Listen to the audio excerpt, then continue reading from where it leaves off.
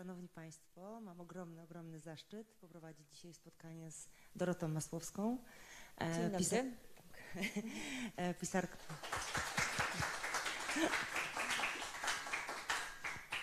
E, dla mnie nie tylko wybitną pisarką, ale też osobą, która widzi w taki sposób rzeczywistość, jaki bardzo mało osób widzi w Polsce. Chciałam, żebyśmy o tym dzisiaj porozmawiali. Dorota, pewno Państwo pamiętacie, ten słynny debiut e, Wojna Polsko-Ruska, później było e, wiele innych książek. Dzisiaj troszkę pretekstem naszego spotkania jest książka, która się nie ukazała, a czy ukaże się e, chyba na początku września. Mianowicie druga część, e, jak przyjąć kontrolę nad światem nie wychodząc z domu. Ja już miałam przyjemność zapoznać się z tekstem tej książki. Nie będę, obiecuję Państwu spoilerować, ale trochę też o niej porozmawiamy, jeśli się zgodzisz, tak żeby był kontekst czytelny.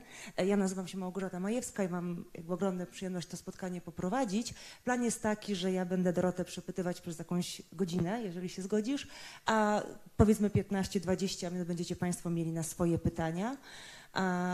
I także chciałam, żebyśmy się zmieścili w takiej, jeżeli temperatura nam pozwoli, e, ramie czasowej godzina 20, chyba godzina 30. Dobrze, a ja jeszcze się szybko przywitam, dobrze? E, mm, chciałam Państwa powitać, e, to moje pierwsze spotkanie po, popandemiczne i widzę, że jest ono takie bardzo kameralne. I nie widzę tego jako wadę, to znaczy jest to trochę onieśmielające, bo widzimy się wszyscy bardzo wyraźnie. Jestem przyzwyczajona do spotkań z tłokiem, yy, ale wiadomo, że cierpi wtedy na tym. Właśnie zastanawiam się, czy cierpi, czy, czy zmienia to jakość e, spotkania. I, I, zawsze te mniejsze i bardziej kameralne są też bardziej, yy, myślę, że są inne.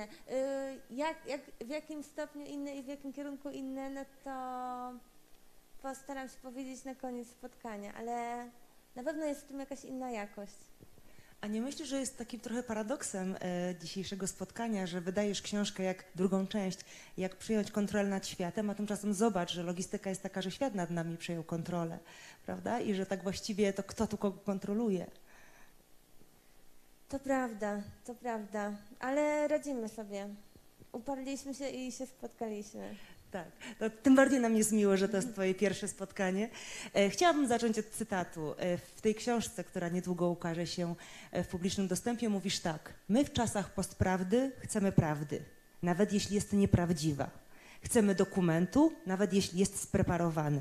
Chcemy faktów, nawet jeśli nie muszą być autentyczne. Chciałabym, żebyś troszkę przybliżyła nam, prawda? To znaczy, jak to rozumiesz? Czy rozumiesz taką potrzebę narracji podrzucaną przez świat, która nam podpowiada, jak my mamy się czuć, jak my mamy rozumieć. Jak mamy rozumieć to, to, to o czym piszesz? Mm, wybrałaś cytat z tekstu, w którym opisywałam pewien program TVN-owski, który um, ma taką bardzo, bardzo specyficzną konwencję. On się nazywa Apetyt na miłość. Wydaje mi się, że TVN przestał go już w międzyczasie produkować, ale wydaje mi się on dość znamienny przez właśnie tę przedziwną przedziwną mieszaninę fikcji z prawdą, to znaczy jest to rodzaj spreparowanego dokumentu, czyli, czyli pewne ym, dość teatralne przedstawienia, które udają y, prawdę na temat, y, na temat y, bohaterów tego programu. Mnie się to wydało bardzo ciekawe, bo oczywiście taki program ma mieć oglądalność, ma przynosić pieniądze, ma mieć dużo reklam i, i, i dlatego realizuje jakieś takie zapotrzebowanie, zapotrzebowania emocjonalne widzów i wydało mi się ciekawe to właśnie zapotrzebowanie na, na prawdę, na fakty, któ- nawet jeżeli wiemy o nich, że są nieprawdziwe, bo ludzie oglądając to zdają sobie sprawę, że to jest e, produkowane, że to jest fabrykowane, że to jest składane dość nawet niedbale i, i bez jakości, i bez szczegółów, ale mimo wszystko pożądają y, nawet fałszywej prawdy. I wydaje mi się to bardzo ciekawe w naszych czasach, ym, które bardzo dużo takiej paraprawdy dostarczają. Właśnie, czy to jest paraprawda? Czy to nie jest tak, że jeżeli e, kultura masowa nam podpowiada, wiesz, jak mamy przeżywać miłość, jak mamy poznać, że ten chłopak nas kocha, bo w walentynki ma nam kupić tego misia, czy to serduszko i tak dalej, e, to czy to nie jest tak, że ja dopiero jako uczestnik tej kultury masowej czuję, że coś jest prawdziwe, jeżeli ja znajdę potwierdzenie, wiesz, w programie TVN-owym, w serialu, e, czy gdzieś w innych elementach kultury masowej, bo mam trochę wrażenie, że ty to tak bardzo celnie punktujesz. No niewątpliwie bardzo interesuje mnie całe w ogóle dość szerokie zjawisko takiego ym, ogłupiania nas przez kulturę masową, które to oczywiście, no, nazywam to teraz w dużym uproszczeniu, y, to z roku na rok jest coraz bardziej perwersyjne, dlatego że coraz y, wyraźniejsze i bardziej wiadome staje się, że ym, reklamo, jakby to powiedzieć, najlepiej sprzedają się rzeczy najgłupsze, naj, najbardziej uproszczone, naj, jakby kierowane do najgłupszego odbiorcy, najgłupszego możliwego odbiorcy i i w związku z tym ym, ten przekaz jest coraz bardziej prymitywny. I bardzo interesuje mnie, jak bardzo ten przekaz kształtuje odbiorców, to znaczy jak bardzo on y, pokazuje, o czym marzyć, jakim być, jak się zachowywać w jakich momentach życia. I bardzo często do tego przypasowuje pewne produkty, pewne mody, pewne scenografie.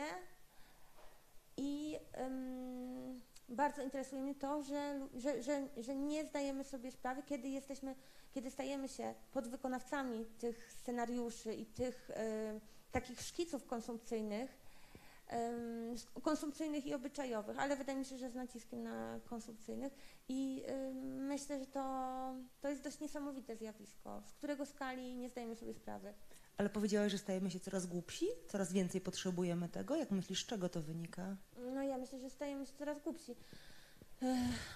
To wynika z bardzo wielu różnych rzeczy, ale mm, takie pierwsze z brzegu, który, które są myślę i dla mnie i dla Państwa namacalne i, i, i, i których wpływ na, na swój mózg i ciało czujemy wszyscy, no to y, na przykład y, technologie, komputery, smartfony, media społecznościowe, to wszystko bardzo, bardzo zmienia nasze funkcjonowanie w świecie.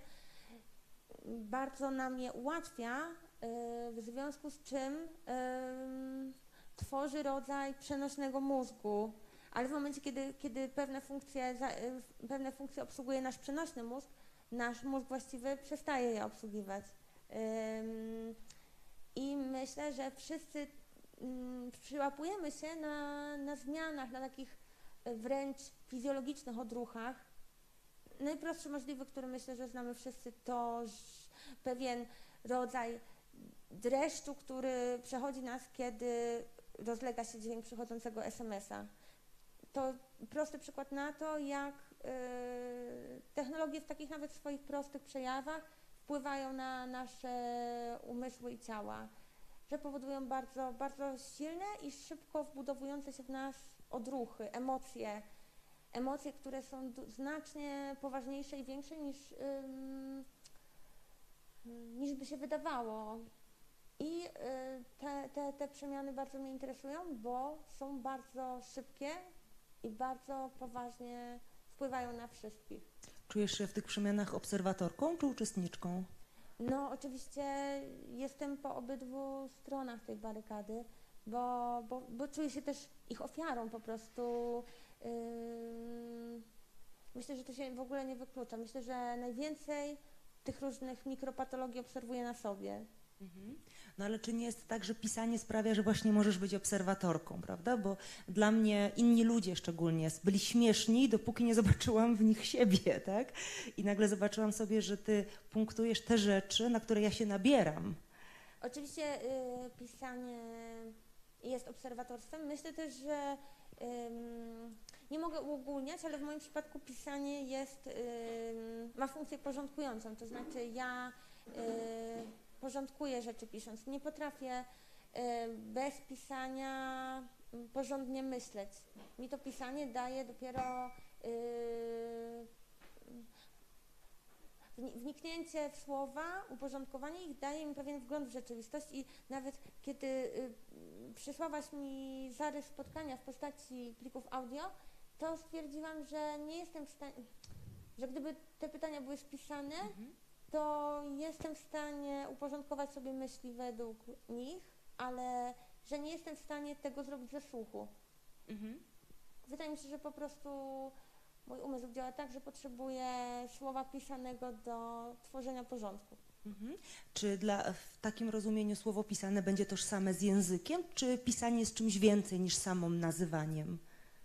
Mm. No, pisanie jest, to jest nazywanie plus ja.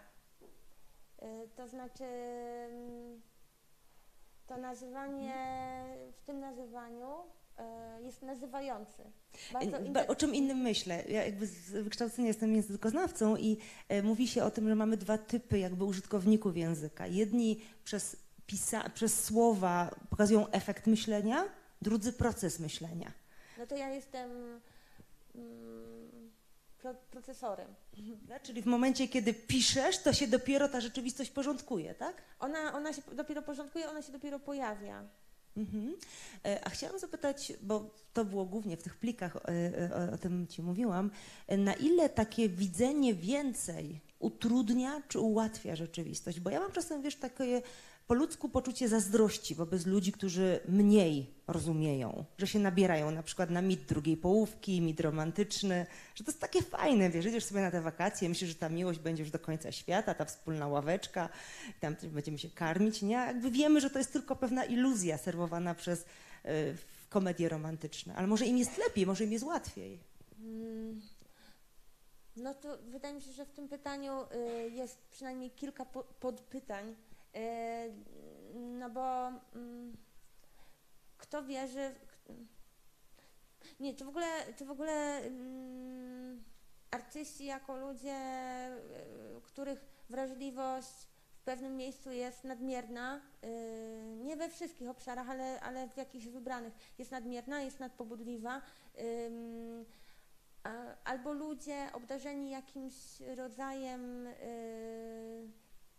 iskry Bożej, y, czyli m- mający jakąś dziedzinę opa- opanowaną w stopniu, że pozwala im tworzyć nowe jakości i nowe rzeczywistości, czy oni są dzięki temu szczęśliwsi, czy może znacznie nieszczęśli, nieszczęśliwsi. Ym, oraz czy y, ludzie bez takich ym, efektów specjalnych ym, są szczęśliwsi, bo widzą świat prościej, bez, y, ym, właśnie bez tych komplikacji i w sposób nie, nie tak zaangażowany, nie wiem, nie nadwrażliwy i, i, i nie tak mocny.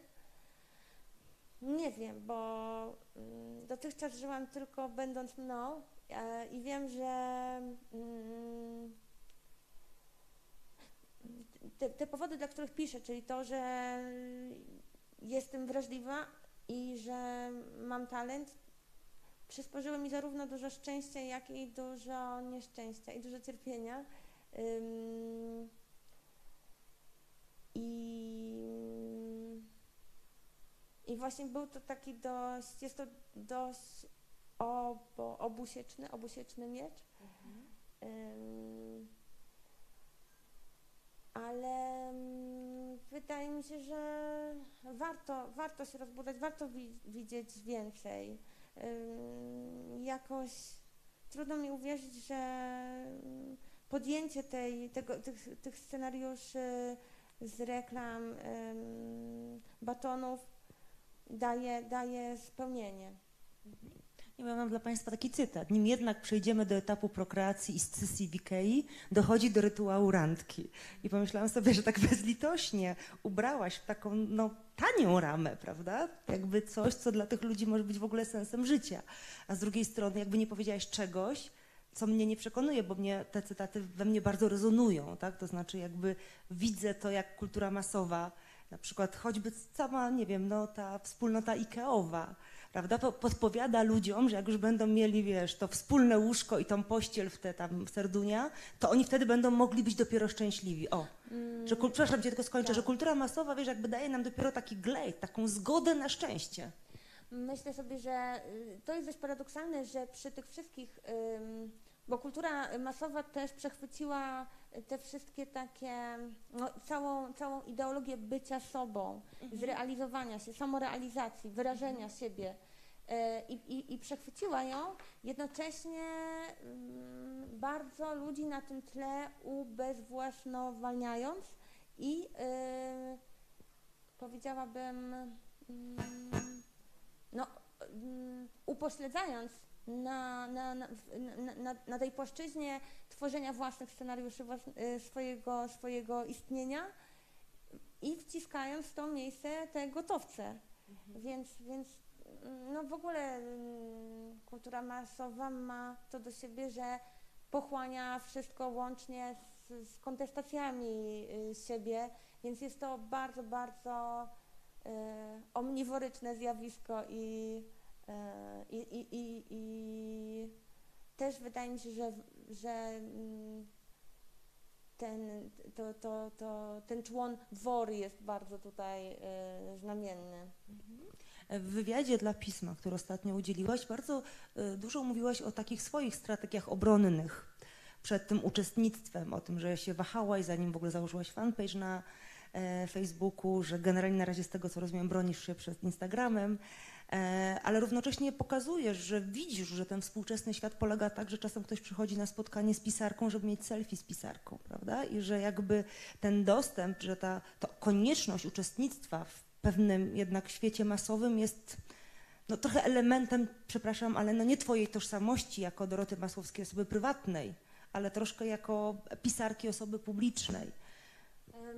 Ym, tak, wydaje mi się to y, też bardzo ciekawym zjawiskiem, jak ym, bojkotowanie tych, tych szybko idących zmian ym, jest właściwie y, no, skazane na, na klęskę. To znaczy, to może być jakiś mój osobisty gest, ale że on ym, prędzej czy później zostanie wchłonięty przez właśnie lawinę, w jakiej żyjemy.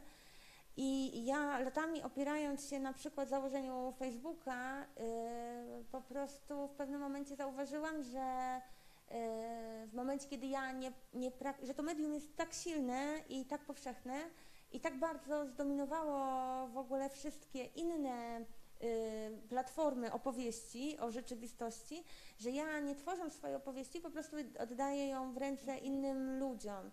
E, I nie tworząc swojego profilu i nie uaktualniając go, e, zaryzykowałam sytuację, w której pisano i mówiono o mnie, że ja zniknęłam, no bo nie było mnie na Facebooku na przykład, nie uczestniczyłam w tych nowych mediach. I, I ja po prostu w pewnym momencie uznałam, że to, że walka z tym jest w ogóle nie, nie warta zachodu, że ja próbując się temu opierać ni- niewiele naprawdę zyskuję, a yy, no, no próbuję mm, próbuję walczyć z czymś, co, co rośnie i, yy, i z czym nie mam szans wygrać. I myślę, że tak będzie też yy, z, z innymi mediami. Wiadomo, że one, że, że niektóre urastają do, yy, do, do rozmiarów totalnych, yy, pochłaniają inne, inne z kolei są takimi po prostu jakimiś gwałtownymi wybuchami, które są popularne przez kilka tygodni. Ja się przed, ja przed tym bronię i, i opieram, dlatego że przeraża mnie, jak, jak, jak wiele pochłania to czasu, jakie to jest e, w ogóle. I wydaje mi się, że czas to jest jeszcze y, koszt, który można ponieść. To pochłania uwagę, to przeprofilowuje artystę, y, który zamiast skupić się na swojej pracy właściwej, zaczyna być, zaczyna y, obok tego kreować swoją postać w mediach. I mnie to się wydaje bardzo. Ro- Jestem w tym bardzo ostrożna, bo y, to naprawdę zmienia. Nie wiem, czy Państwo to czują na sobie, na własnych przypadkach, ale ym, wydaje mi się, że człowiek, kiedy zaczyna się upubliczniać i zaczyna tworzyć swoje wizerunki albo swój wizerunek jeden, ym, zmienia się od tego. Ten proces y, wytwarzania tej publicznej wersji siebie po prostu go zmienia. Myślę, że trochę wierzymy w fikcje, które stwarzamy. Myślę, że też nie jest do końca tak, że się nimi stajemy, że się w nie, y, że zamieniamy się w tych, którymi chcielibyśmy być, ale że próbujemy dobudowywać rzeczywistość, która by się z tym w jakiś sposób zgadzała. Nie wiem, wydaje, nie czytałam na przykład żadnych badań na ten temat takich y, psychologicznych, ale je, bo myślę że też, że one mogą jeszcze w tej chwili nie istnieć, bo nie widać tego zjawiska kreowania siebie w pełnej perspektywie. Y, Myślę, że to może być widoczne za parę lat, kiedy, kiedy mm, te zmiany, które w nas zaszły, się ugruntują. Ale y, jestem przekonana, że to, że to odkształcanie się osobowości pod kątem wizerunku, który kreujemy, jest bardzo poważnym zjawiskiem. No tak, bo zwróć uwagę, że wizerunek wymaga od nas wspólności. Bardzo często Tak. używasz sama słowa maska, persona, a równocześnie nasza tożsamość nie jest spójna, prawda? No, czy ty jako pisarka jesteś kimś innym niż ty jako osoba publiczna, niż ty jako matka, z tego co wiemy, i, e, i w rolach prywatnych. I ja trochę mam wrażenie, że może tu jest ta pułapka, nie wiem, czy się zgodzisz, że w prywatnym życiu, kiedy się znamy, ale nawet się nie znamy dobrze, ale rozmawiamy sobie, jest przestrzeń na wahanie na to, że ja mogę się być po jednej, po drugiej stronie. W wizerunku publicznym nie możesz. Musisz się dodefiniować, prawda? Jesteś ekoaktywistką albo nie jesteś. I teraz spróbuj być i mieć plastikowy kubek. Tak, myślę, że myślę, że masz rację. Yy, myślę, że to jest to. W dodatku te wizerunki yy, wymagają od nas yy, używania takiego intuicyjnego języka ogromnych uproszczeń, ogromnych skrótów. To, to też się wiąże z tym, co powiedziałaś. I, yy, I te skróty wymuszają y, na nas deklaracje, którym potem y, właśnie nie możemy sprostać, a niespójność powoduje, zwy- zwyczajnie powoduje nieszczęście, niepokój, całe kombo emocji związanych właśnie z tym, że czujemy się w jakiś sposób fałszywi. To może być nieświadome, ale na pewno jest to pewien jakiś rodzaj alarmu, który nam się włącza, kiedy czujemy, że deklarujemy co innego niż robimy. Ym, więc Sama mówiłaś o takiej sp- spójności w tożsamości, prawda? Że jeżeli nagle pojawia się jakaś myśl, która jest niespójna z tym, jak się prezentujesz publicznie, to pojawia się taki lęk, że teraz nam ktoś wytknie, takim ty właściwie jesteś, tak? Tak, myślę, że nawet, nawet, nawet y, nie musi nam nikt wytykać. Y, myślę, że to po prostu jest jakiś podświadomy lęk przed, przed maską, przed, przed, Mhm. przed fałszywą maską. Nie wiem, z czego on wynika. Może, może, może gdzieś tam jest w tle to, to, ten lęk przed wytknięciem i zdemaskowaniem, ale ale, ale jakoś też wydaje mi się, że, że jednostka e, świadoma swoich, świadoma, że fałszuje, jest po prostu nieszczęśliwa. A jednostka, która jest nieświadoma tego, że fałszuje? Ja cały czas mam postać w głowie Kamila z innych ludzi, e, którego jakby bardzo barwnie i momentami bardzo zabawnie jakby definiujesz językiem. Takim bardzo no, prostego chłopaka, umówmy się, z osiedla.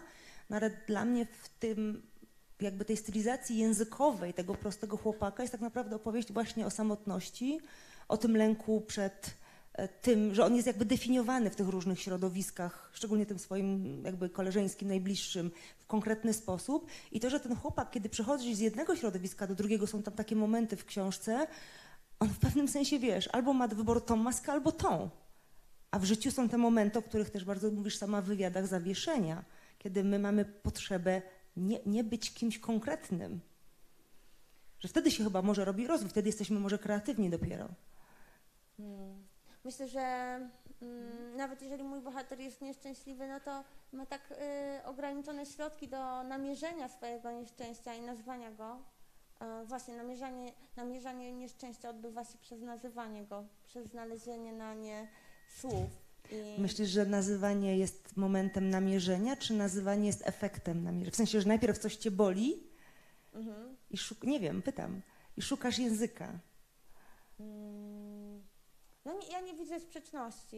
Yy, oczywiście najpierw coś cię boli, ale to yy, Ale czasem nie- dopiero nazwane, dopiero nazwane Mhm. jest wyrażone. Ale czasem nie ma na coś języka.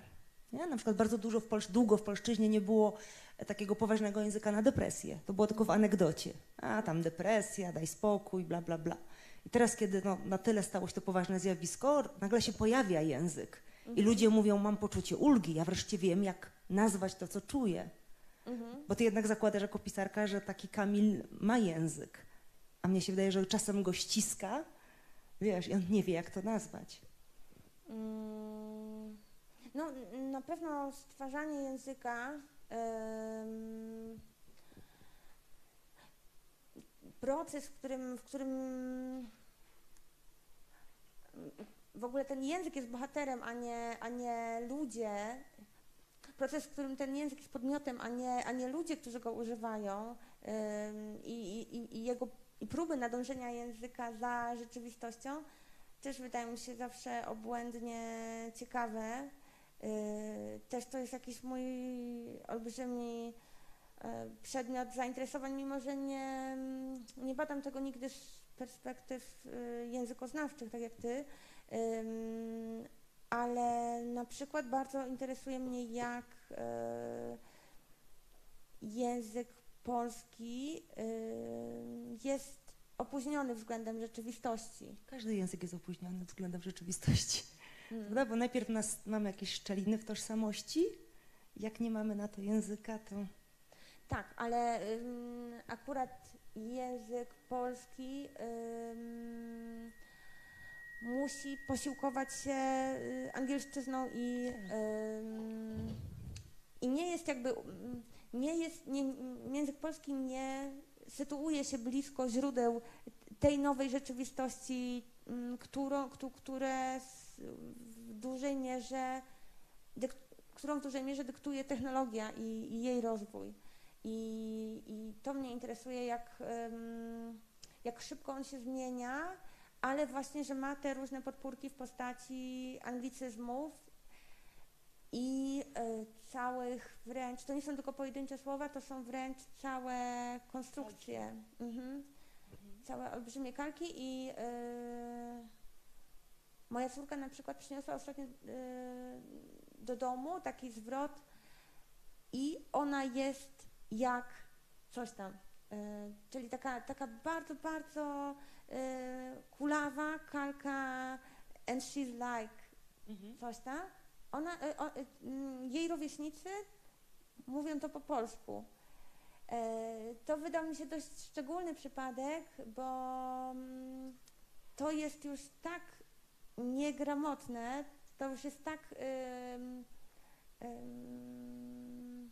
dziwne i wydaje mi się, że to jest kalka, która jest szczególna, bo w tym momencie ona już się cieszy, że jest tą kalką, ona jest dumna z tego, to nie jest kalka wstydliwa i wyłącznie niezgrabna, tylko kalka, która ekscytuje się swoją kalkowością.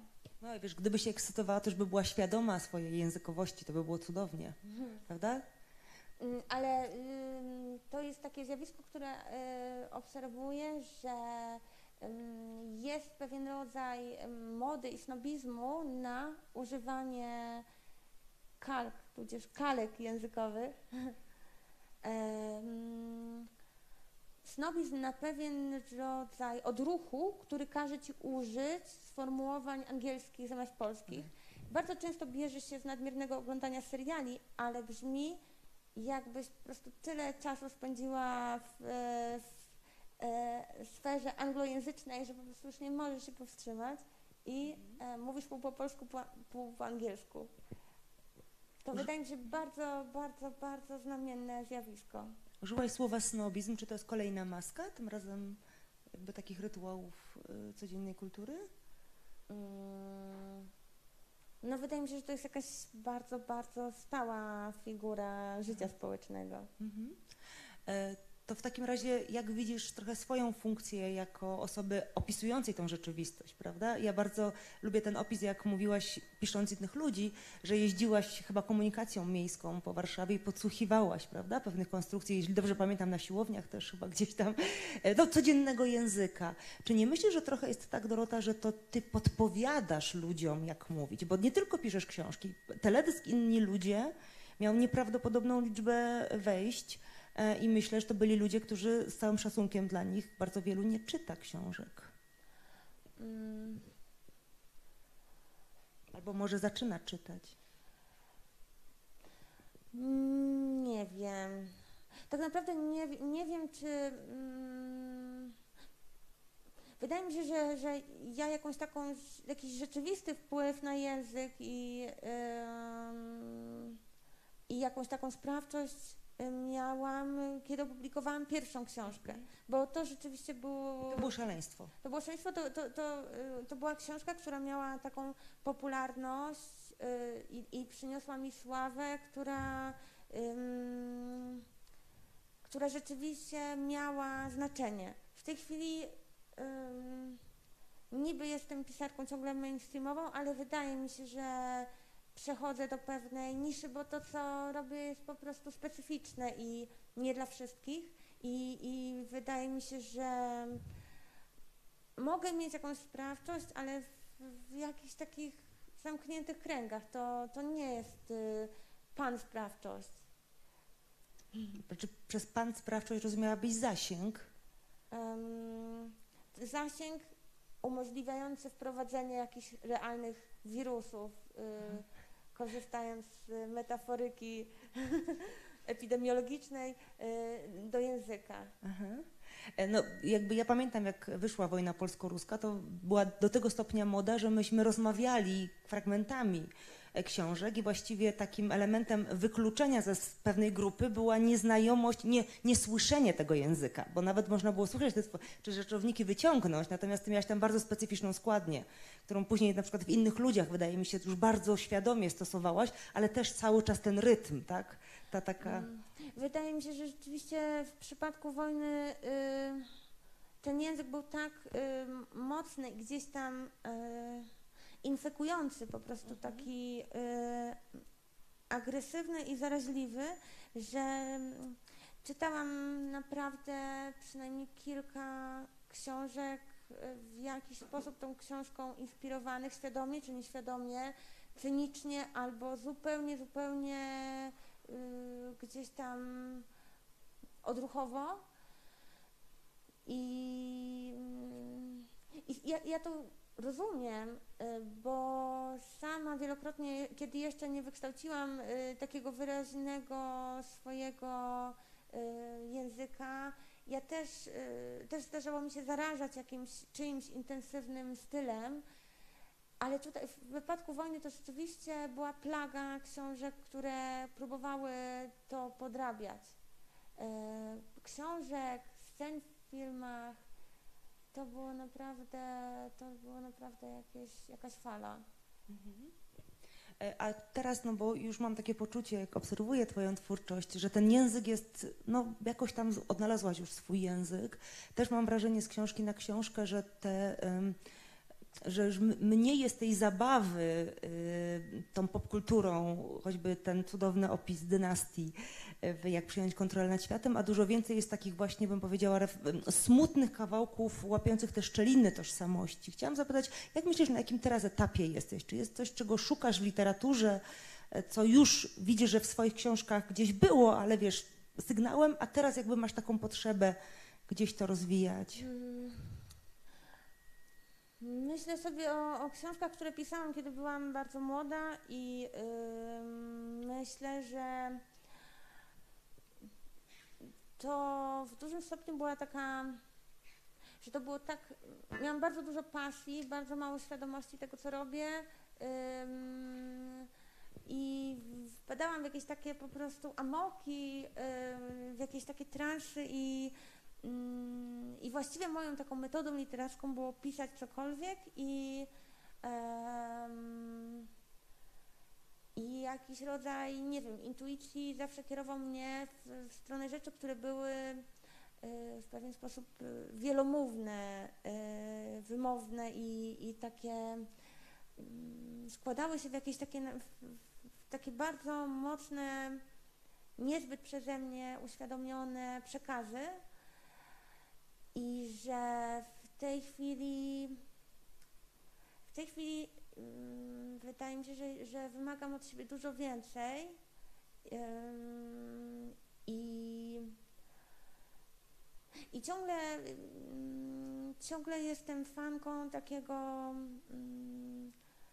absurdu językowego i, i, i takiej, takiej żonglerki tym językiem, ciągle gdzieś lgnę do, do różnych takich surrealizmów, ale ciągle wyłapuję też y, z tego, co ludzie mówią, albo z tego, co ja sama mówię, momenty, w których język polski składa się w jakieś takie abstrakcyjne zupełnie y, figury, bo, bo ma takie tendencje, bo jest dość trudny i wyboisty i niepotoczysty ale myślę, że, mm, że jakiś pojawił się we mnie taki rodzaj.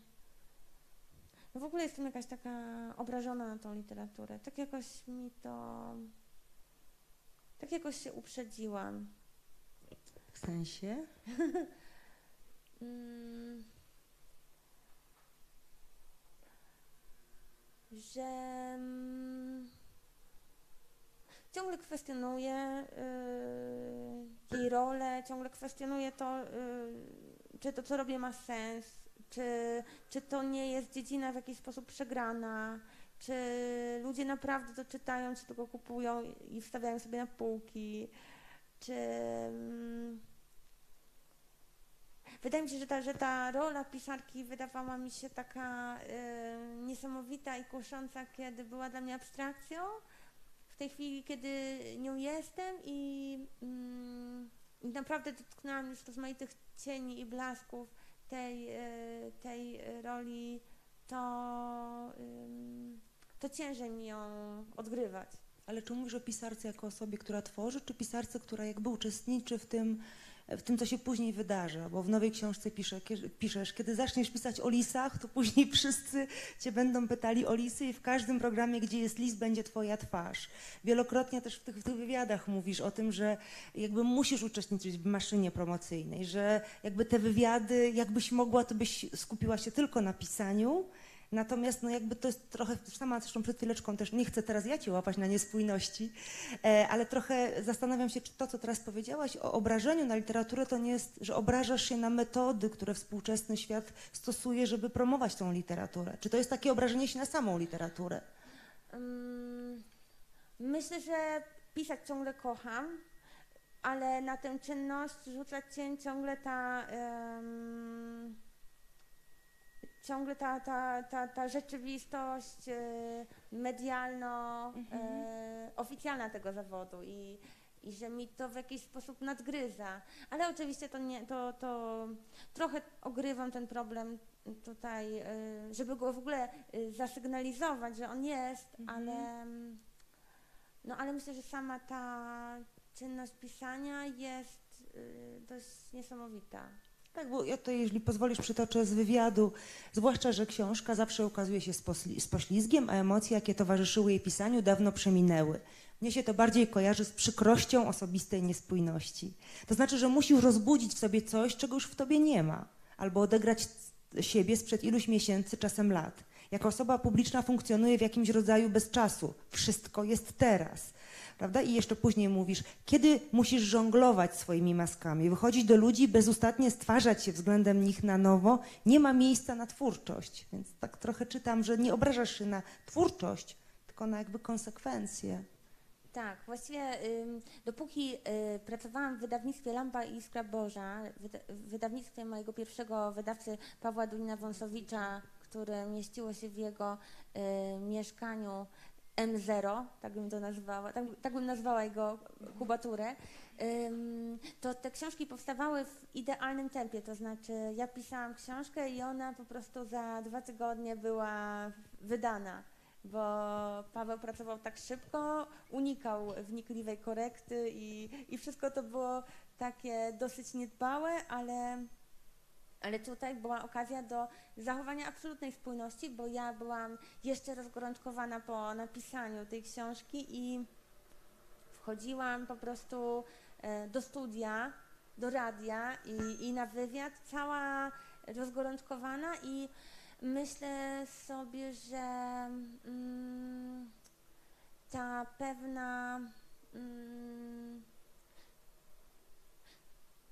że, że y, wspaniale jest spotykać się z ludźmi, czy to są dziennikarze, czy to są czytelnicy, z, pewnym, z pewnym rodzajem właśnie ognia w sobie. I y, kiedy są takie okresy wyciszenia i wypalenia i, yy, i wygaśnięcia, yy, takie okresy prywatne i to bardzo ciężko po prostu wychodzić do ludzi i z pasją mówić o tym, co się robi. Więc no i zwyczajnie też w, tym fragmencie, który przeczytałaś, mówię o, o problemie, który pojawia się, kiedy Mm, kiedy po ilu w tej chwili 17 czy 18 latach mojej pracy zawodowej napisałam bardzo różne książki, które wychodzą w bardzo różnych tłumaczeniach w bardzo różnych krajach. I adaptacje są i teatralne. Adaptacje filmowe. teatralne, y, rozmowy z widzami, rozmowy z reżyserami i że ja po prostu bezustannie muszę wzbudzać w sobie ten, y, tę pasję i ten ogień, którego już nie mam. I to jest y, gdzieś tam bardzo eksploatujące bo jednak aspiruję do tego, żeby nie udawać, ale jednocześnie nie mogę po prostu być zblazowana i e, epatować swoim znudzeniem i, i, i brakiem zainteresowania e, swoimi książkami i sztukami. E, więc ta rola pisarki jest bardzo, bardzo, zapewniam, skomplikowana i, i obs obsługiwanie w godności tej e, osoby publicznej, która, która do pisania, do przyjemnej czynności pisania jest przyrośnięta, to jest naprawdę bardzo dużo energii i strategii i w ogóle jakiegoś takiego e, pomysłu na to, bo naprawdę łatwo może się to wymknąć spod kontroli, jeżeli jest się e, zbyt, powiedziałabym, prostodusznym, mhm. naiwnym, jeżeli wierzy się, że wszyscy chcą dla nas dobrze. To właśnie też pobrzmiewa w innych wywiadach, choćby dla Gazety Wyborczej o e, tym, jak realizowany jest Twój film, bo zastanawiam się jeszcze, czy też nie ma w tobie takiego rozczarowania trochę tym światem medialnym, prawda, który chcecie pewno przypisać do różnych szufladek społecznych, politycznych, światopoglądowych, e, bo bardzo często też wspominasz też w różnych innych wypowiedziach o tym, że ty właściwie przychodzisz z takim sercem na dłoni, tak, chcesz po prostu opisywać ten świat i, i widzieć, wyłapywać jego absurdy, a oni cię gdzieś wiesz, zdanie takie w neutralnym kontekście jakby zawłaszczają do różnych kontekstów. Zastanawiam się, że też trochę to rozczarowanie tutaj nie jest.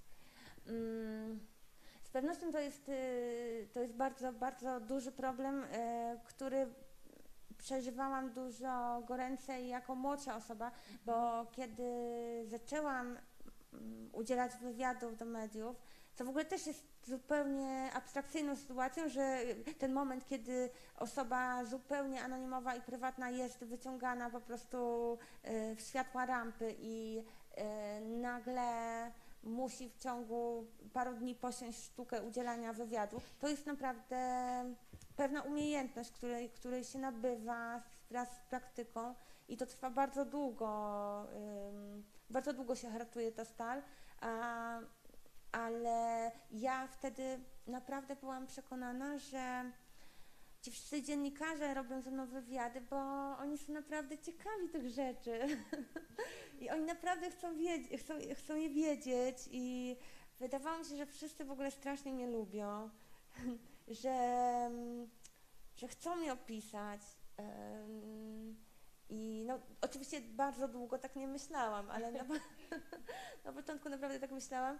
Yy, natomiast yy, myślę, że po tych wszystkich latach nie, nie ciągle potrafią mnie różne rzeczy zdziwić, Yy, ale to już, to już nikogo o to nie winię. To wiem, że na własne życzenie, że, że ym, media są w tej chwili bardzo upolitycznione i, yy, i nawet właśnie kiedy często wydaje mi się, że że opowiadam o literaturze, to i tak potrafi być to mm, nawet y, poprzez lidowanie tekstu potrafi to zostać upol upolitycznione i, i nawet nie ma kogo za to dusić i mordować.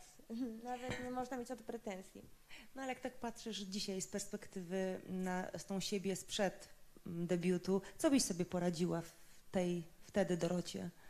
Która siedzi i pisze książkę, która zmieni w ogóle słyszenie literatury w pewnych środowiskach.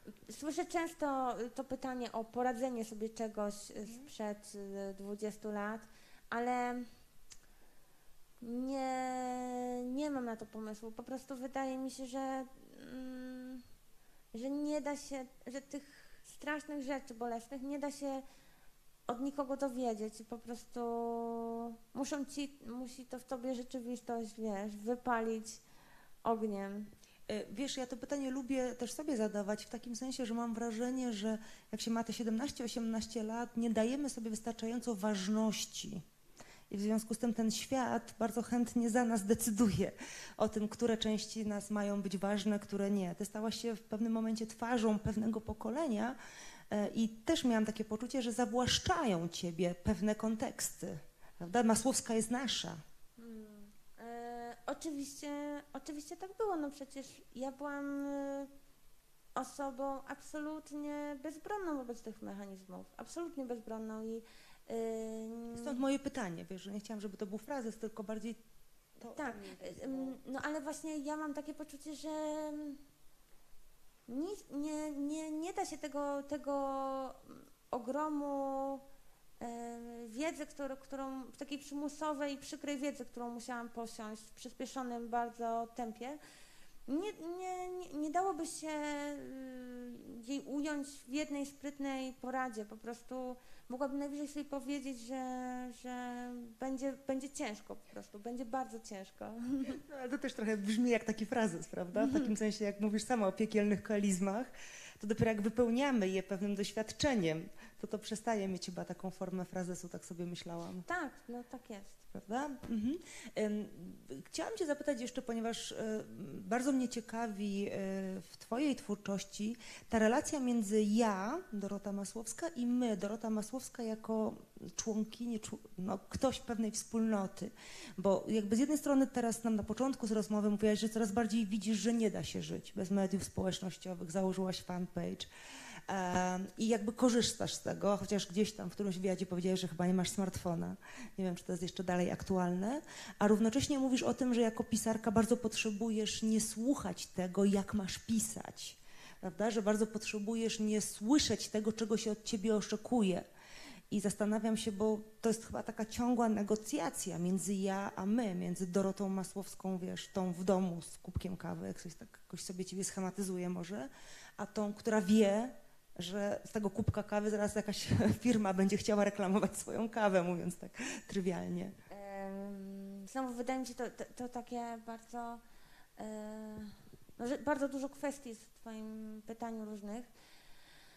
I pierwsze, co mi przychodzi do głowy, to, że ym, ym, ja w ogóle nie, nie zgadzam się na tę. Na, nie, nie, na, na taki. na coś, co, co, co w moim odczuciu się nasiliło przez ostatnie lata, czyli taki.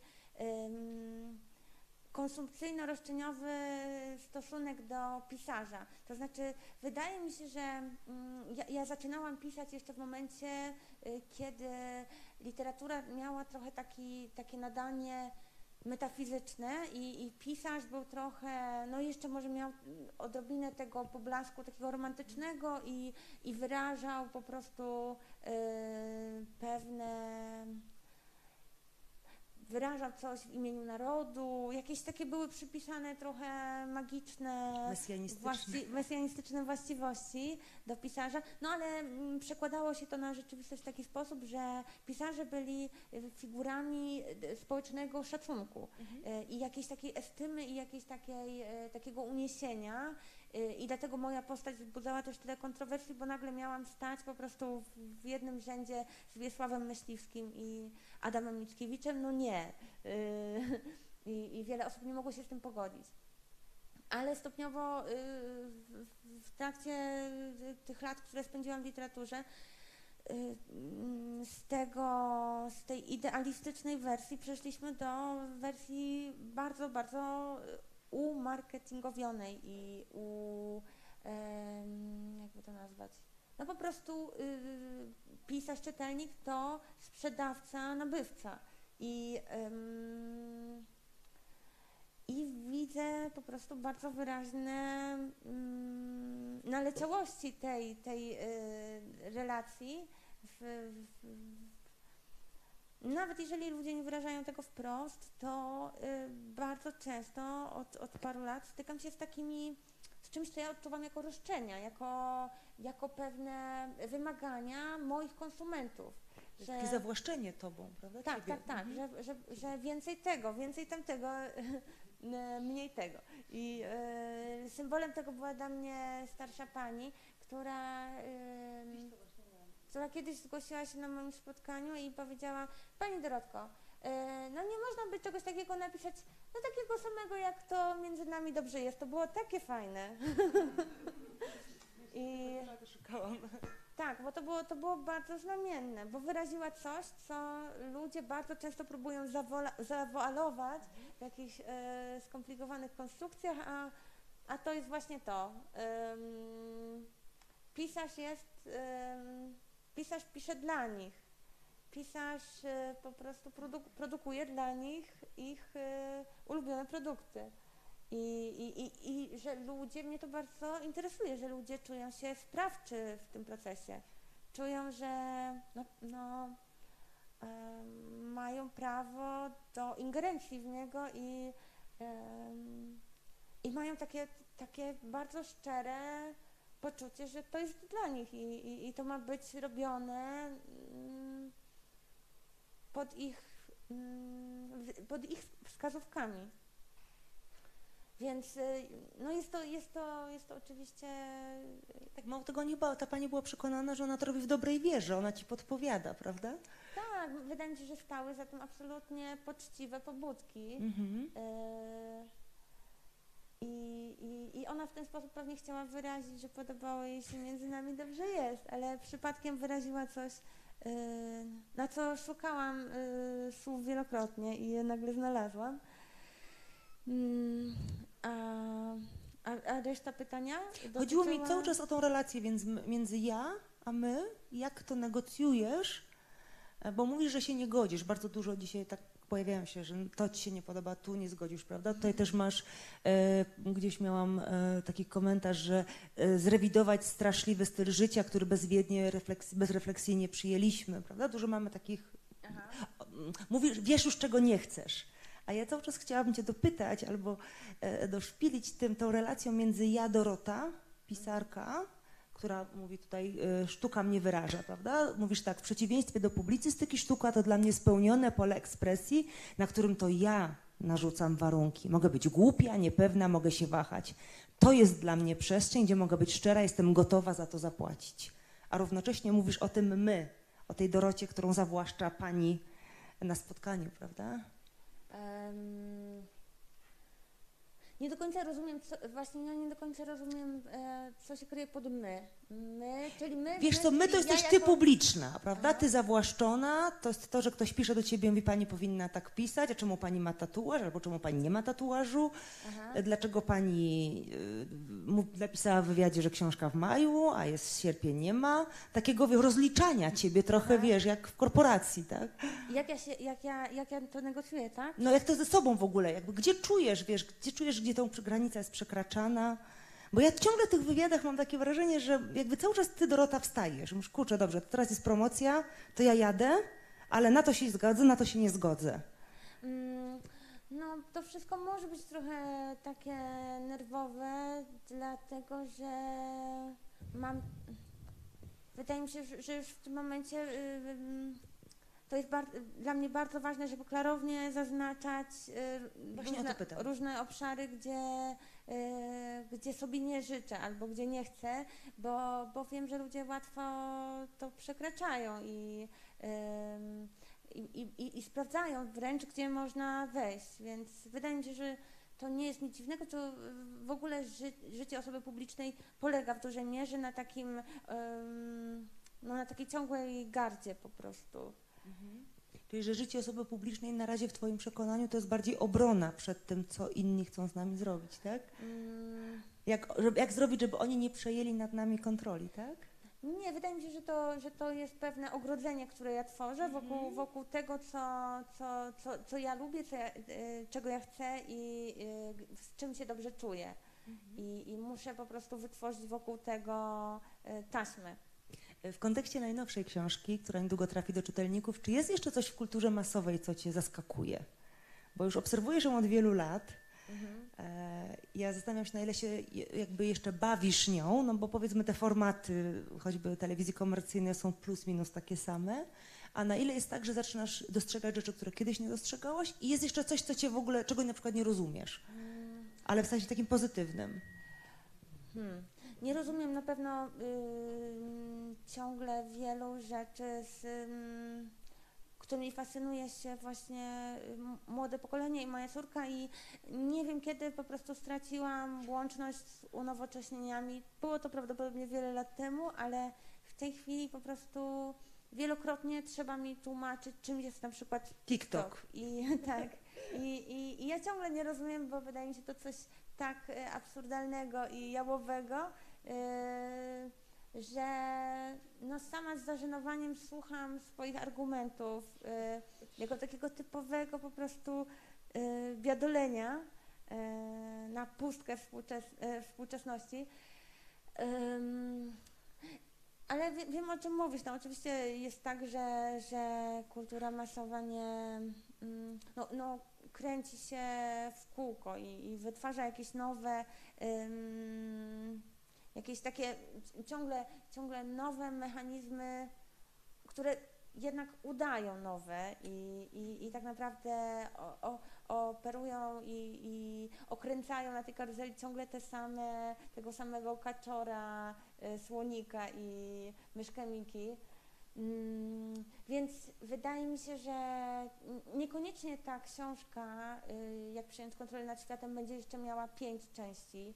Y, Natomiast To nie był zarzut. Mhm. Natomiast ym, nie powiem, żeby, żeby, żeby z kolei ym, bardzo trudno przychodziło mi y, znajdowanie nowych tematów do, tej, do, tej, do, do, do tych tekstów, bo właściwie ciągle dzieją się rzeczy zaskakujące i, i ona się przeprofilowuje, więc, więc y, na przykład ym, ten ym, zwrot bogoojczyźniany w kulturze masowej dostarczył mi dużo tematów. Myślę, że TVN też ciągle się stara, żeby nie było Żebyś się nie nudziła. tak.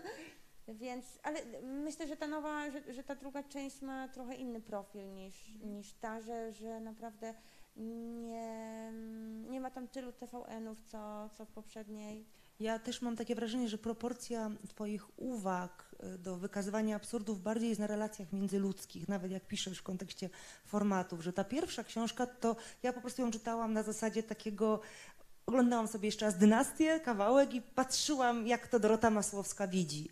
A tutaj bardziej mi podświetlałaś, ale to samo było w innych ludziach. Wiecie Państwo, ja ten teledysk Inni Ludzie pokazywałam studentom e, na drugim roku dziennikarstwa i tam jest taka niesamowita scena, jak ten młody człowiek wchodzi do kuchni i ta matka trzyma lodówkę, tak stoi bokiem i pali papierosa. I on na cały głos powiedział, o kur, moja matka tak ze mną gada. Nie? I teraz zobacz, to był tylko teledysk, tak? Nawet nie była jeszcze literatura. Nie wiem, czy on sięgnął po twoją książkę.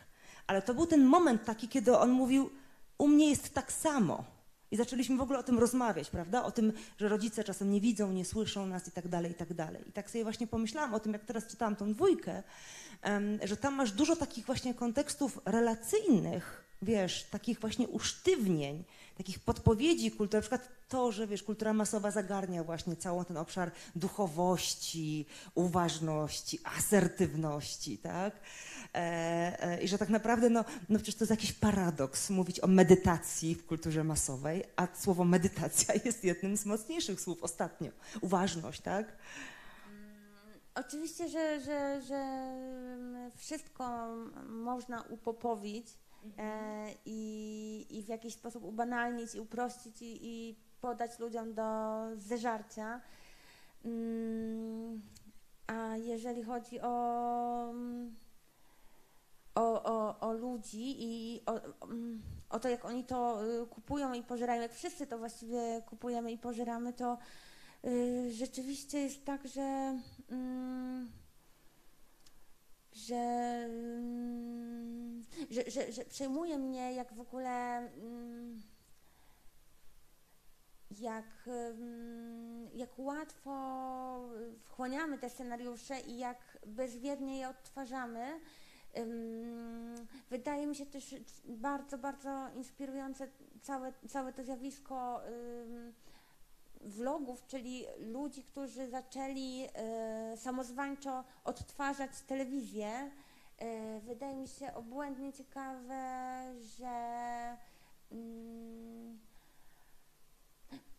że, że, że kobiety i mężczyźni mm, jakoś tak oddolnie po prostu są w stanie powtarzać bezwiednie y, gesty i manierę mówienia prezenterów. Mm, To, to, się- to się dzieje właśnie mm, podświadomie, to się dzieje fizycznie i, i, i w tym widać jakieś y, totalne po prostu zmiany człowieka. Widać w tym nowego człowieka. Ale nie jest tak, że w tym szukamy poczucia bezpieczeństwa? Wiesz, że to jest takie pewne, to jest takie stałe. Tak się No. robi. Nie wiem. Myślę o tej bohaterce z innych ludzi, prawda, która ma tam te piersi sztuczne za tam 20 tysięcy. Że ona wie, że jeżeli one kosztowały tyle, to one muszą być super. To jest taki zewnętrzny, prymitywny gwarant tego, że ona jeszcze jest kobietą. Bo wydała na to, jeżeli dobrze pamiętam, kwotę 20 tysięcy, tam obojętnie Ja ile. bardziej w tym widzę taką, jeżeli miałabym rozczytywać Mhm. y, y, emocje mojej bohaterki, teraz po nie w czasie, kiedy tę książkę napisałam już ze trzy lata Tak. temu, ale myślę, że za tym stoi jakieś ym, właśnie ym, pewne, pewne be, bezwiedne ym, realizowanie nawet na poziomie y, ciała y, jakichś takich y, obrazów, które, Kot, kotwic pewności. które nie? mają predestynować nas do szczęścia i wydaje mi się też, że sukcesu. Mhm. Czyli, że już bo powolutku mój czas się pytań kończy, teraz Państwu oddaję głos, ale pozwól to ostatnie. E, Czyli, że to nie jest taka, bo ja to czytam jako kotwicę pewności. Wiesz, jak ona sobie spełni pewne oczekiwania, no nie ona, każdy z nas, kultury masowej, to my mamy mieć gwarancję szczęścia. A, nie myślałam tak o tym. Nie, wiem, tak ja to bardzo wyraźnie jakoś, wiesz, czułam. ym, że to są pewne emblematy i atrybuty i Tak, takie zewnętrzne, wiesz, że nie wiesz, co ci jest, czujesz się nieszczęśliwa i nagle wiesz, Kim Kardashian ci mówi, będziesz szczęśliwa, jak zrobisz to, to i to. mm, Nie wiem, tak jakoś ja to czytałam w ten sposób. Pewnie to też tak funkcjonuje, ale myślę, że, że może też być właśnie takie bezrefleksyjne i, i intuicyjne, że No ale to musi być bezrefleksyjne. No wiesz, Mhm. nikt z refleksją nie pomyśli, że mu sztuczne piersi dadzą szczęście, nie? mnie się wydaje, że to kompletnie możliwe. Mnie się wydaje to kompletnie możliwe, że, że ktoś, komu wmawia się, że, że takie piersi są piękne, a takie pierogi nie, może pomyśleć, że po prostu kiedy wprawi sobie y, takie duże, to że wszystko pójdzie dobrze. Że... No ale czy człowiek, który czeka, aż świat mu powie, jakie warunki musi spełnić, żeby być szczęśliwy, ma szansę być szczęśliwy? No bo wiesz, to świat wtedy mu mówi. Musisz mieć takie, musisz to jeść. Nie, bo ja też nie wiem, jaki to jest w ogóle rejestr szczęścia, bo może to polega na zrobieniu sobie serii zdjęć, na których się świetnie wygląda i może to jest jakieś szczęście, tylko po prostu ja go nie rozumiem, bo nie mam do niego dostępu. E, Szanowni Państwo, czas na Państwa pytania, bo ja mogłabym długo. Kto z Państwa, ja podejdę z mikrofonem. Ale nie trzeba mikrofonu, jest. Jest, odkażony. Mnie trochę świetli ciekawość spraw osobistych, to przepraszam, ale chciałbym, żeby Pani powiedziała parę słów o ojcu swojego dziecka. Kim jest, co robi Ale jak przyjmuje Pani pisarstwo na, na gruncie rodzinnym. Niestety to pytanie jest niedopuszczalne. znaczy ja jakby mam sprzeciw, nie, nie zgadzam się na to pytanie. Ktoś z Państwa? Prosiłem, no, ale, ale świetli mi jest. To musi pan zostać sam ze swoim świeżbieniem. Ktoś z Państwa?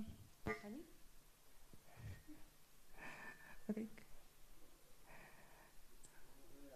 Dobrze, Podejść z mikrofonem, czy? Ja jestem ciekaw, jeżeli mogę na to się zwracać, jak, jaki masz stosunek do e, adaptacji książek i e, szczególnie przyznam, że znałem się z teorią do was i mam swoją osobistą stosunek do tego filmu, ale no, to zawsze jest tak, że jak ludzie o filmie, to na podstawie książki, to no widziałem książka lepsza. E, I gdzieś tam e, film się wywodzi ze scenariusza i, i, i słowa pisanego. I no, jestem ciekaw, jakie, jakie są Twoje wrażenia po premierze na przykład wojny e, literackiej premierze, a potem po premierze filmowej. Mm, Właśnie wydaje mi się, że, że ym, moje wspomnienia o tych wrażeniach jest już kompletnie zafałszowane, bo ten film miał premierę bodajże w 2008 czy 2009 roku. Na pewno to, y, ten film to, był dla mnie, to było dla mnie bardzo dużo emocji, bo to była moja pierwsza ekranizacja. Ja chyba jeszcze wtedy nie, chociaż nie, już pracowałam w, w teatrze i już y, widziałam dużo swoich sztuk teatralnych, ale y, w kwestii filmu to był jakiś tam mój debiut. Ja też w tym filmie występowałam, więc też byłam na planie i e, w ogóle widzenie z bliska tej całej machiny filmowej to już było dla mnie jakieś olbrzymie przeżycie i to poczucie, że świat, który stworzyłam na papierze po prostu zmaterializował się i, i pojawił przed moimi oczami, to było naprawdę bardzo ym, intensywne przeżycie. Ja ten film nawet całkiem niedawno widziałam, bo pokazywałam go studentom y, w, Stanach, y, kiedy teraz zimą pojechałam tam na spotkania i wykłady. I on się moim zdaniem bardzo dziwnie zestarzał. To znaczy bardzo na przykład widać, że technologicznie się zestarzał, że był zrobiony w dość na, na, na innym etapie rozwoju technologii filmowej. Mm, Myślę, że jest bardzo też dziwny. To znaczy, że, ym, że jednak ten język okazał się bardzo, ym, bardzo, bardzo ekscentryczny na ekranie i ym, no i to wszystko jest takie szalone. I jestem, jestem ciekawa, jak on będzie, będzie się dalej, jak będzie jego starość ewoluowała. E, Ale myślę, że jestem dosyć, mm, że jako, że jako mm, osoba, której rzeczy są adaptowane bardzo często w sumie dla teatru, w tej chwili e, inni ludzie też są w trakcie ekranizacji. Myślę, że jestem dosyć przyjemna, bo staram się nie, możliwie nie wchodzić w drogę i właściwie wyłącznie raz przydarzył mi się taki konflikt y, z reżyserem, że, że zażądałam wycofania nazwiska, ale poza tym po prostu jednak chcę, żeby twórcy pracujący z moimi tekstami mieli wolność i swobodę.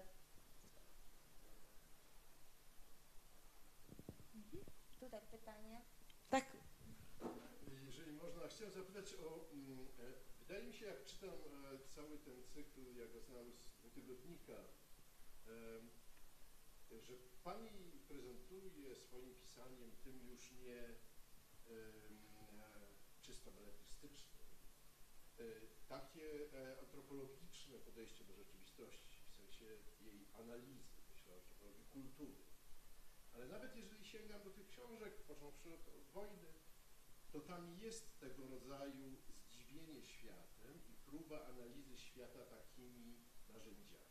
Z drugiej strony jestem świadom, że nie ma Pani backgroundu akademickiego, antropologicznego. Więc e, ciekaw jestem, skąd bierze się taki sposób czytania świata. Czy to jest czysto intuicyjne, e, czy za tym stoją jednak jakieś lektury, jeżeli to jakie? I drugie pytanie, jeżeli od razu mo- mogę powiedzieć, e, wytworzyła Pani niebywale mocny, własny język literacki, wojny i to się kontynuuje przez Pawia i kolejne książki. Również przez pu- publicystykę. To Pani pisze Masłowską i tu się- nie da tego oszukać. A wiemy skądinąd, że jesteśmy myśleni przez język, myślimy przez język. Język jest narzędziem naszego myślenia. Jak język, Pani język, nabyty, wytworzony, wpływa na Pani myślenie o rzeczywistości? Jeżeli chodzi o, o tą y, antropologiczność, to wynika ona z mojego backgroundu akademickiego, tylko takiego bardzo niedokończonego. To znaczy wy, wynika z, z moich bardzo niedokończonych studiów na y, warszawskim, y, w Warszawskim Instytucie Kultury Polskiej, gdzie, mm, których nie zdążyłam y, ukończyć, ale które zdążyłam spektakularnie zacząć i tam y, muszę powiedzieć, że to bardzo zrobiło na mnie duże wrażenie i zmieniło moje myślenie o, o świecie i i tam y, mówi się o tych studiach y, takim wspaniałym zdaniem, y, wszystko jest ciekawe. Tam rzeczywiście y, potrafią y, młodych ludzi, profesorowie zarazić poczuciem, że wszystko jest ciekawe i wszystko można badać, wszystko może być y, tematem. I y, ja już w ten sposób właściwie patrzyłam na świat. I na przykład pisząc drugą część tej książki, naprawdę parę miesięcy zeszłej zimy spędziłam w, w bibliotece uniwersyteckiej po prostu samozwańczo studiując i, i, i uzupełniając y, wiedzę, która, która, z której już wylatywały powoli mole i, i wychodziły pająki. Mm, A czy, czy język wpłynął na moje postrzeganie? Tak.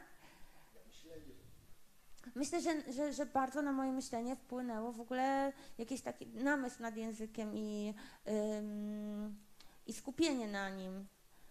I y, to rzeczywiście dało, ym, daje mi jakiś rodzaj. To jest coś, co, co- mówienie to jest coś, co często robimy bardzo, bardzo odruchowo i bezrefleksyjnie i, i przejawia się w tym tak dużo rzeczy, tak dużo rzeczywistości y, się, się, się przelewa y, przez nasze słowa, nasze konstrukcje, kiedy nawet tego jesteśmy nieświadomi.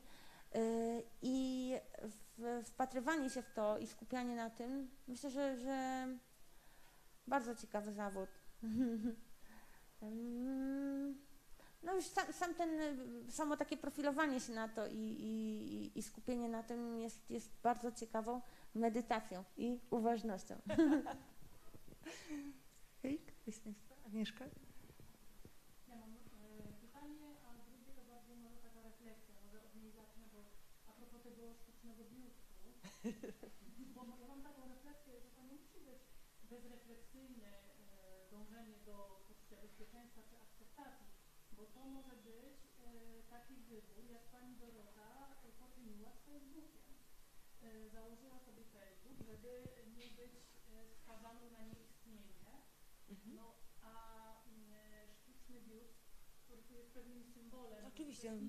Detalem tylko. tak, e, też jest wyborem, e, na istnienie, na, nie wiem, dostanie jakiejś pracy, na akceptację, bo wygląd fizyczny jest Mhm. też y, bardzo istotny w pewnych środowiskach, dajmy na to zawodowych chociażby. To taka refleksja. A drugie pytanie, y, nawiązujące trochę do i pytania Maćka i Pani odpowiedzi, na ile y, wojnę polsko-ruską, była Pani bardzo młoda, y, na ile Pani właśnie pisała, ja przepraszam, że użyję może takiego sformułowania, ale chodzi o język bezrefleksyjnie, na ile to się samo Pani pisało, a na ile Pani tworzyła ten język świadomie? Mm, Myślę, że to, to w jaki sposób pisałam wojnę było bardzo, bardzo. Nie nazwałabym tego bezrefleksyjnym, ale nazwałabym to bardzo intuicyjnym. I, yy, i, i tą, tą intuicją, właściwie yy, pragnienie bawienia yy, najpierw Pawła Dunina Wąsowicza, a potem innych takich pokątnych czytelników tej książki, po prostu sprawiało, że ja y, dość odruchowo i, i, i w takim transie pisałam. Y, Ale myślę, że na, na ten język stworzyły się, y, złożyły się lata y, parodiowania go i pewna, y, pewne w ten sposób przechwycenie takiego mentalnego silnika ludzi ulicy i, i że to. mm, Teraz sobie myślę, że napisałam tę książkę w ciągu miesiąca, ale, ale y, umiejętność y, odtwarzania tego języka nabywałam latami. Pewnie przez 19 lat na osiedlu y, uczyłam się go. A jeżeli chodzi. Ja, ja, ja, ja doceniam Pani refleksję o piersiach, bo, bo myślę sobie, że w ogóle jest w tym coś bardzo. mm, Krytykowanie kobiet za powiększaniem biustu jest, jest, jest w tym coś szalenie takiego naiwnego, bo myślę sobie, że e, za tymi powiększeniami stoją bardzo różne rzeczy, a najbardziej z nich interesuje mnie taka. mm, ta najbardziej e, taka bezmyślna, czyli e, mm, bezwiedne re, re, re, rekonstruowanie zdjęć swoim ciałem. I y, czemu wszyscy ulegamy w jakiś sposób. I, i, I że nasze bardzo, bardzo skomplikowane telefony i aparaty pomagają nam tworzyć pewne fikcje, które potem my próbujemy naszymi ciałami odtworzyć. I to jest masowe i przerażające zjawisko. Mhm. Ale ja teraz z kolei ja mam poczucie takiego niezrozumienia, bo mnie nie chodziło o samo powiększanie piersi, tylko o tym, że w twojej narracji było takie zdanie, że skoro zapłaciła 20 tysięcy, to one muszą być, prawda? I chodziło mi o to takie wynikowe, wiesz, że to jest takie zewnętrzne, to tylko taka uwaga porządkująca. Okej, takie po prostu... To jest tylko detal, metonimia, to może być cokolwiek innego, wiesz, skoro za nos dała 10 tysięcy, nie? Nie wiem, za lakier do paznokci, no nie, 10 tysięcy. Ktoś z Państwa? Ja mam jeszcze taki trochę sprzeciw, bo tak trochę deprecjonujemy właśnie te Te piersi. Tak, a ja mam wrażenie, że e, my wszyscy uwielbiamy się dawać uwodzić w kulturze masowej i to jakby nie jesteśmy tutaj o my, czy ja, czy prawda, i ci, co oglądają ten słoneczny pas. Tak, ja się zgadzam. Przepraszam, ten mąż e, bohaterki zapłacił chyba za 100 tysięcy za samochód, za to Volvo, więc może też była jakaś kwestia rekompensowania sobie. No, ale muszę powiedzieć, że pisząc tę książkę bardzo niedbale te wszystkie ceny szacowałam i, i, i, i, na, no i z tym Volvem był taki problem, że opisałam jakieś właściwości tego Volvo, Volvo, a nie mam nawet prawa jazdy, które potem e, w filmie nie dało się ich zrealizować. To znaczy reżyserka miała olbrzymi problem, żeby znaleźć taki samochód, bo okazało się, że taki model w ogóle nie jest w Polsce dostępny.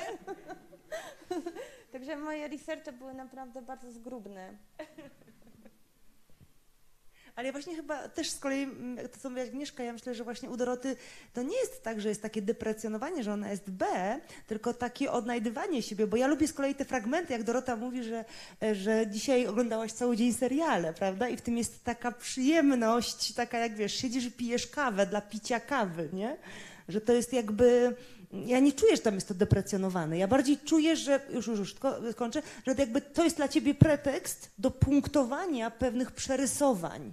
Ja to trochę tak widzę, wiesz? Ja tylko chciałam sprostować, ja nie mówiłam o deprecjonowaniu twórczości, tylko o takich może momentach w naszej tutaj Okej, Okej, my ci wielcy, tak? Myśliwski, Masłowska, Mickiewicz. Ktoś z Państwa jeszcze? Bo jeżeli nie, to nasz czas powoli dobiega końca. Bardzo Ci dziękujemy za spotkanie. Bardzo dziękuję.